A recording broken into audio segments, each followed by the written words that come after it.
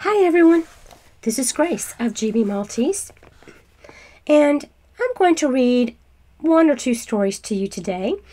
If you're looking at the screen, you will see that I am working on a clock.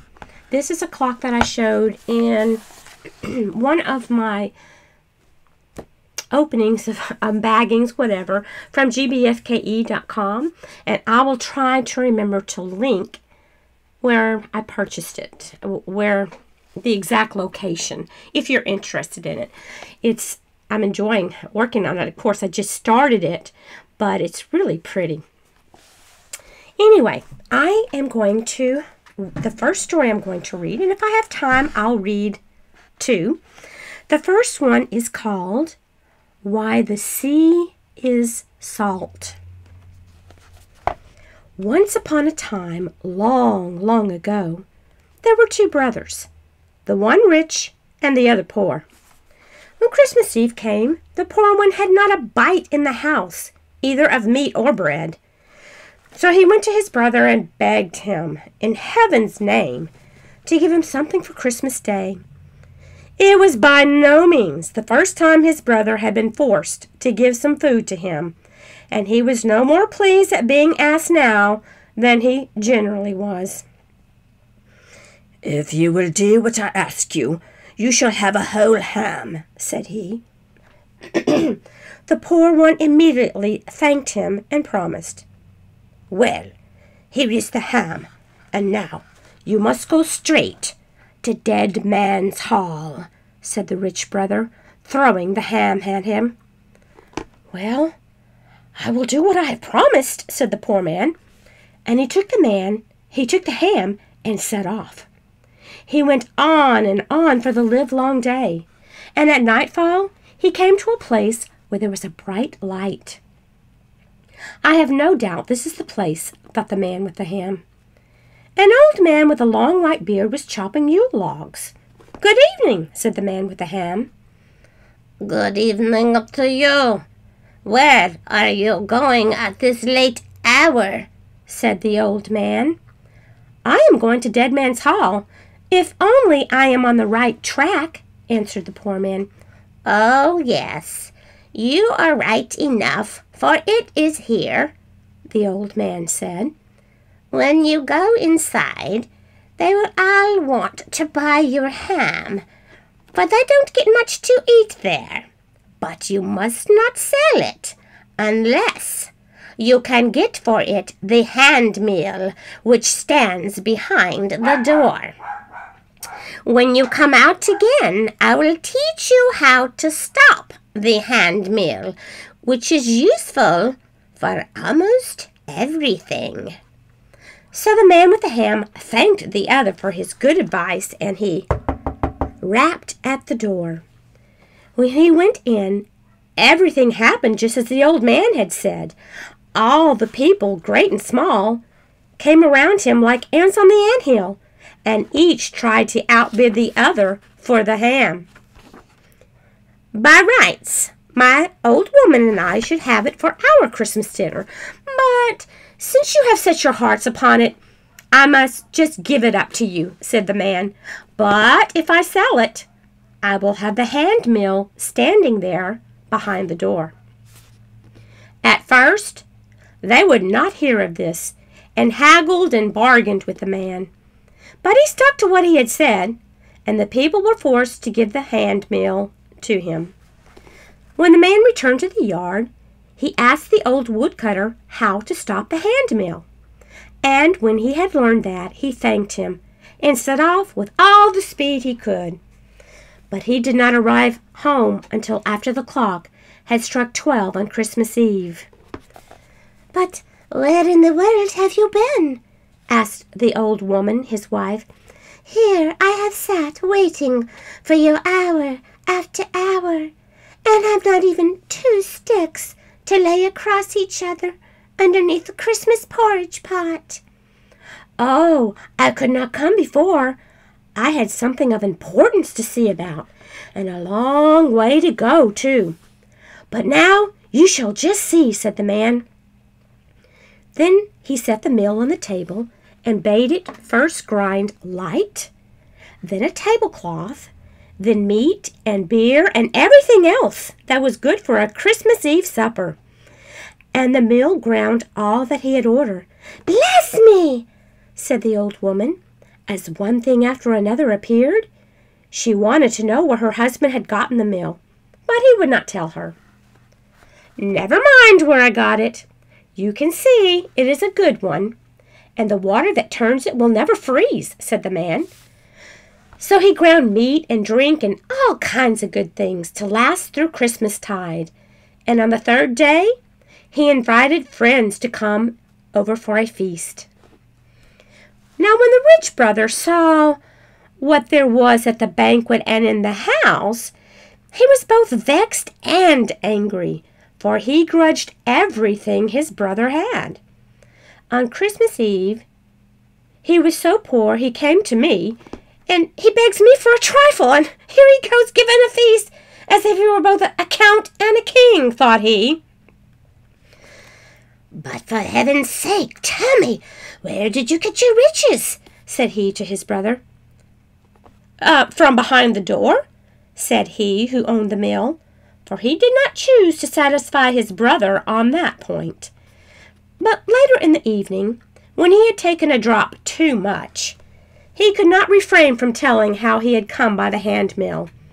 There, you see what has brought me all my wealth?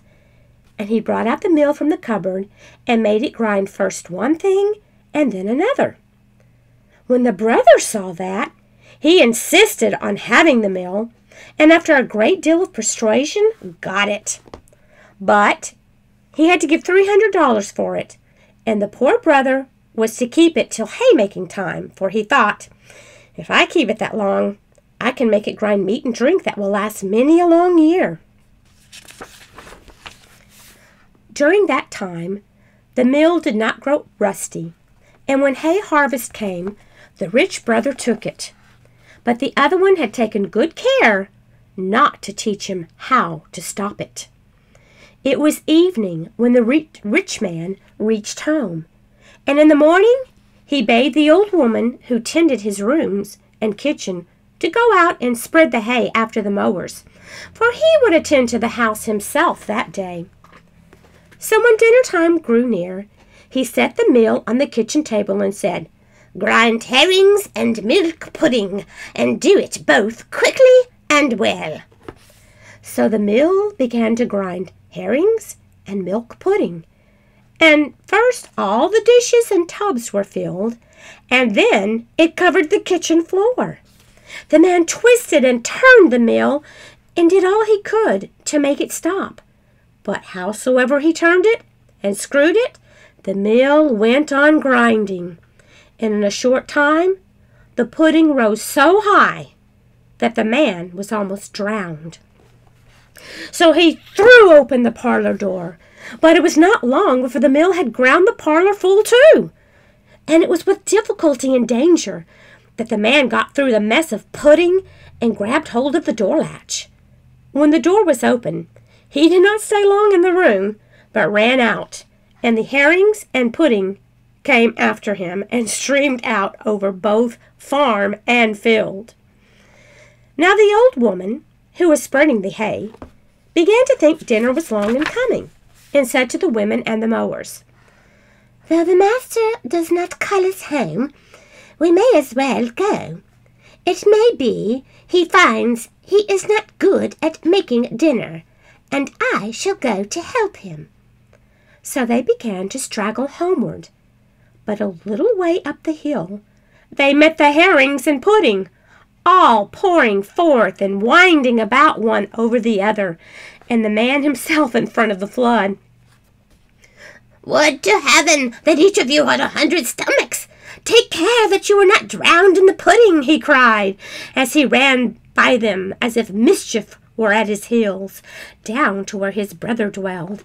Then he begged him to take the mill back again, and to do it so in that instant, for said he, if it grinds one hour more, the whole district will be destroyed by herrings and pudding. but the brother would not take it until the other paid him another $300, and that he was obliged to do. Now the poor brother had both the money and the mill again. So it was not long before he had a farmhouse much finer than his brother's. But the mill ground him so much money that he covered his house with blocks of gold, and as it lay close by the seashore, it shone and glittered far out to sea. Everyone who sailed by put in to visit the rich man in the gold farmhouse, and everyone wanted to see the wonderful mill, for the report of it spread far and wide, and there was no one who had not heard tell of it. After a long, long time, there came a skipper who wished to see the mill. He asked if it could make salt. Yes, it can make salt, said he who owned it. And when the skipper heard that, he wished with all his might and main to have the mill, no matter what it cost. He thought that if he had it, he would not have to sail far away over the perilous sea for his cargo of salt. At first the owner would not hear of parting with the mill, but the skipper begged and prayed, and at last the man sold it to him for many, many thousands of dollars. When the skipper had the mill, he did not stay long, for he was afraid the man would change his mind, and he had no time to ask how he was to stop it grinding. But he went on board his ship as fast as he could. When he had gone a little way out to sea, he took the mill on deck. Grind salt, and grind both quickly and well, said the skipper. So the mill began to grind salt, till it spouted out like water. And when the skipper had the ship filled, he wanted to stop the mill, but whichsoever way he turned it, and howsoever he tried it, it went on grinding, and the heap of salt grew higher and higher, until at last the ship sank. There lies the mill at the bottom of the sea, and still, day by day, it grinds on, and that is why the sea is salt. And this story was written, uh, probably I'm not going to pronounce this correctly, by Peter C. as as and Jorgenimo, and it is in the Andrew Lang collection. So, did you know that is how salt got in the sea? I thought it was quite an amusing story. And it was nice to see the poor brother to come out ahead for once in his life. Okay, I have another story I want to read to you that is called The Golden Goose. And this story comes to us from let me oh this one is from jacob and wilhelm grimm so it is one of the grimm's stories. The Grimms told um, one of the stories that they told. Excuse me. There was once a man who had three sons. The youngest of them was called Simpleton, and he was sneered and jeered at and snubbed on every possible opportunity. One day it happened that the eldest son wished to go into the forest to cut wood and before he started out, his mother gave him a fine, rich cake and a bottle of wine, so that he might be sure not to suffer from hunger or thirst. When he reached the forest, he met a little gray old man who wished him Good morning, he said. Do give me a piece of that cake you are carrying, and a drink. Fill me a bottle of wine. I am so hungry and thirsty. But this clever son replied, If I give you my cake and wine, I shall have none for myself. You just go your own way. And he left the little gray man standing there and went farther on into the forest. There he began to cut down a tree. But before long, he made a false stroke with his axe and cut his own arm so badly that he was obliged to go home and have it bound up by his mother. Then the second son went to the forest, and his mother gave him a good cake and a bottle of wine, as she had to his elder brother. He too met the little gray old man, who begged him for a morsel of cake and a drink of wine. But the second son spoke most sensibly also, and said, Whatever I give to you, I deprive myself of. Just go your own way, will you? Not long after, his punishment overtook him. For no sooner had he struck a couple of blows with his axe than he cut his leg so badly that he had to be carried back home. Then the youngest son said, Father, let me go out and cut the wood. But his father answered, But your brothers have injured themselves. You had better not. You know nothing about it. The boy begged him so hard to be allowed to go that at last his father said, Very well, then, go. Perhaps when you have hurt yourself, you may learn to know better. His mother gave him only a very plain cake made with water and baked in the cinders, and a bottle of sour beer. When he came to the forest, he too met the little gray old man, who greeted him and said, Give me a piece of your cake and a drink from your bottle. I am so hungry and thirsty. The boy replied, I have just a cinder cake and some sour beer. But if you care to have that, let us sit down and eat. So they sat down. And when the boy brought out his cake, he found it had turned into a fine, rich loaf, and the sour beer into excellent wine. Then they ate and drank all they wanted. When they had finished eating, the little gray man said, Now, I will bring you luck, because you have a kind heart and are willing to share what you have with others. There stands an old tree.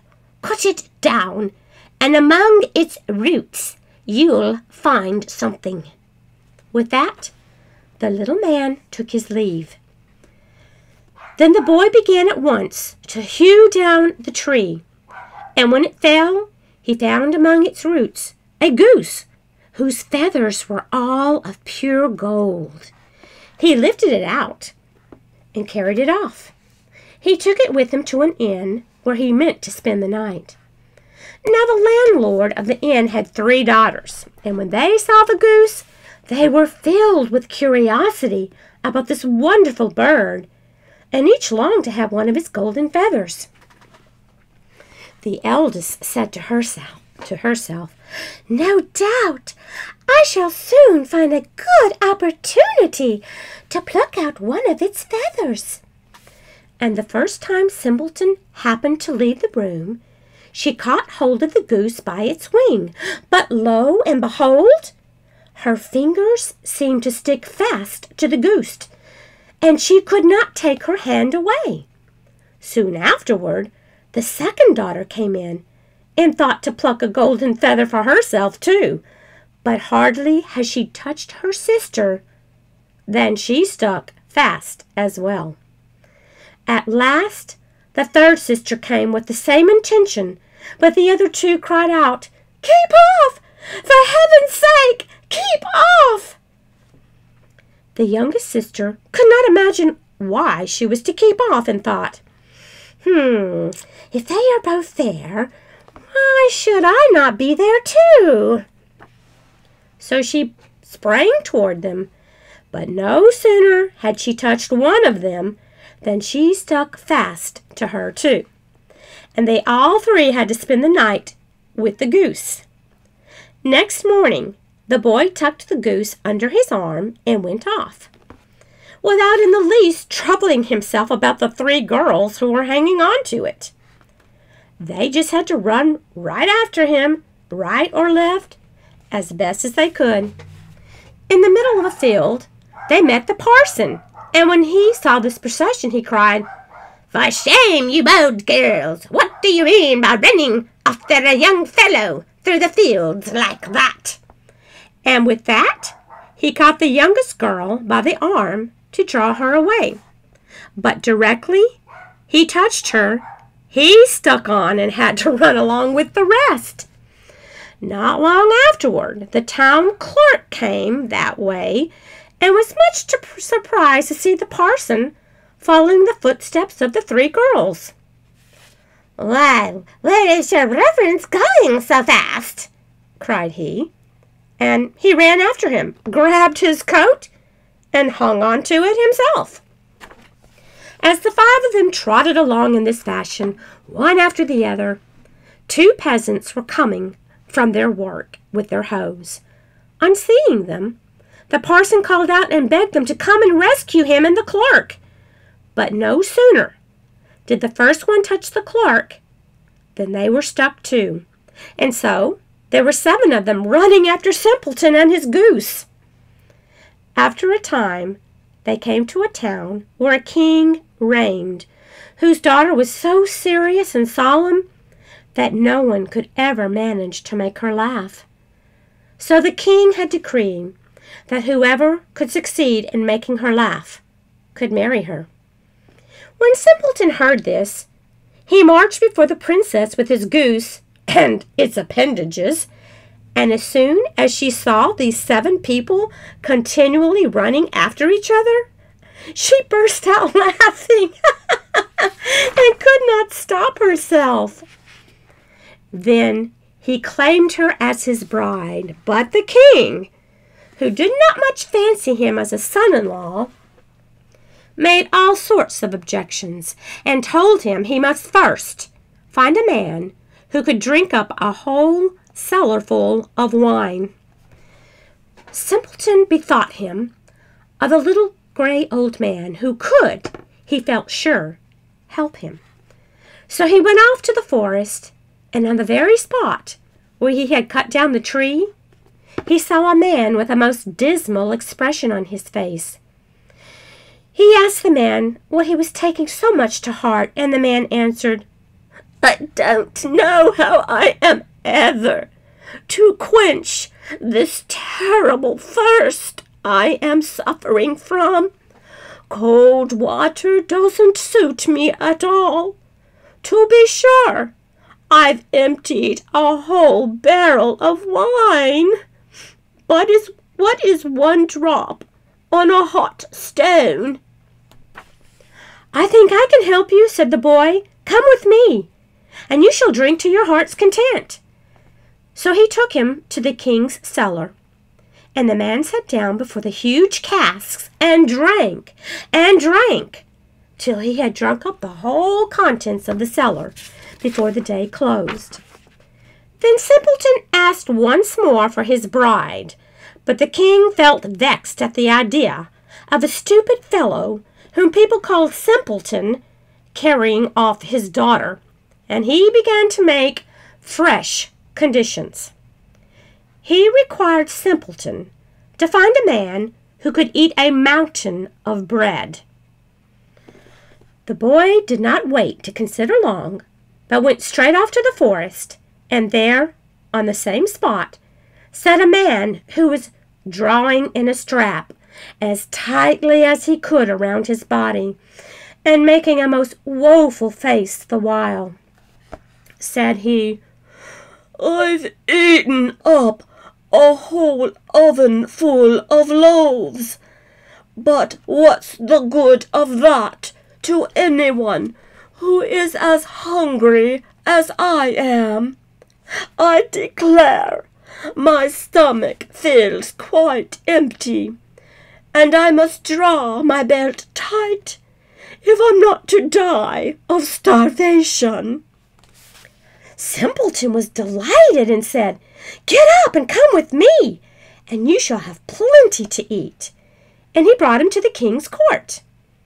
Now the king had given orders to have all the flour in his kingdom brought together and to have a huge mountain baked of it. But the man from the wood just took up his stand before the mountain and began to eat. And in one day, it had all vanished. For the third time, Simpleton asked for his bride, but again, the king tried to make some evasion and demanded a ship which could sail on land or water. When you are sailing in such a ship, said he, you shall have my daughter without further delay. Again the boy started off to the forest, and there he found the little gray old man with whom he had shared his cake, and who said, I have eaten and I have drunk for you, and now I will give you the ship. I have done all these things for you because you were kind and merciful to me. Then he gave him a ship which could sail on land or water.